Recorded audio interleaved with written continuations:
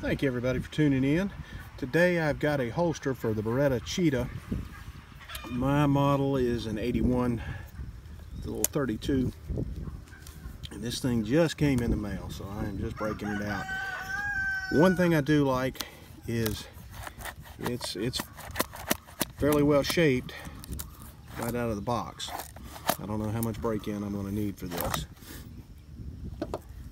It has an adjustable snap setting. Looks like just a little Phillips head screw in there to raise that up or down depending on the model gun you have. It's made by K Holsters, which I'm not familiar with them, but it says handmade.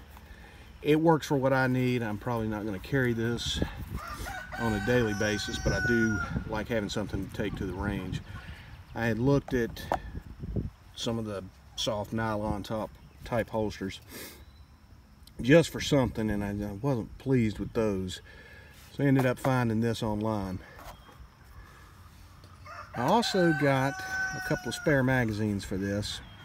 They are